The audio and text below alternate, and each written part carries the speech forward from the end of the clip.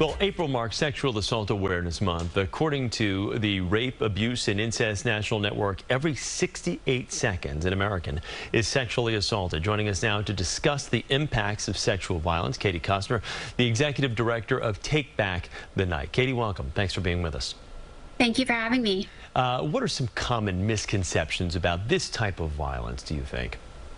Well, we know that most of it happens by someone you know and trust. And there's still the idea that it's a stranger who's going to grab you off the street instead of someone you've been out on a date with.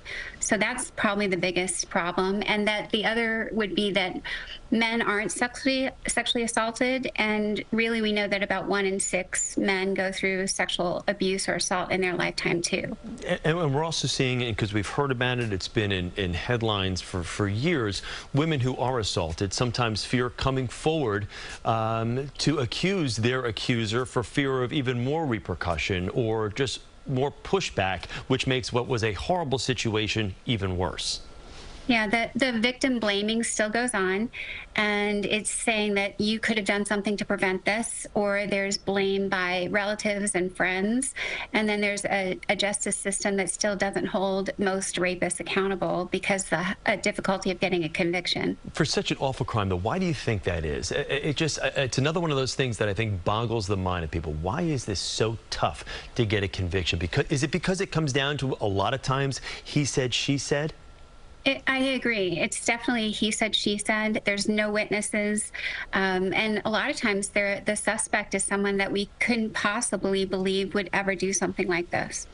Uh, you started the Take Back the Night Foundation back in 2001. Tell us a, a, little bit more about the inspiration behind it and the huge impact that it has had over the last 20 plus years. Yeah, absolutely. So Take Back the Night was a movement, the oldest global movement to end sexual violence in the world.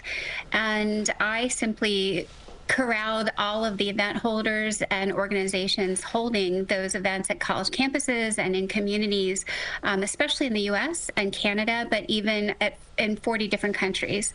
So, what we do at Take Back the Night is we hold an awareness event. It could be a march, a rally, um, a protest, it could be a, a, candlelight vigil in honor of victims or a speak out.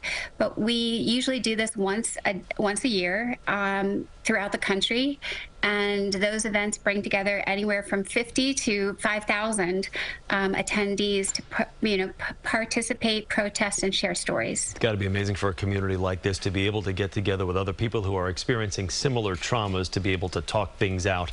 Um, over an expanded period of time like this through the events that you've had. Uh, how can people get involved? When, what events, uh, you know, Absolutely. are people, what, what events are you having here in and around the city?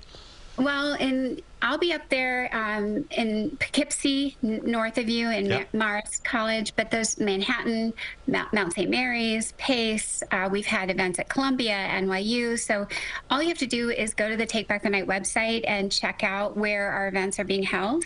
And you can always go to our global virtual event that's free and open to the entire planet. On the last Thursday of April, every year we have a global virtual event for everyone who, who's too far from their local event. And, Katie, before I let you go, as, as, we use this month to raise awareness, what are some ways people can be supportive of those who've been a victim of sexual assault? Perfect. Yes. So I think, first of all, believe them. Um, say that you want to support them. Ask them what you can do.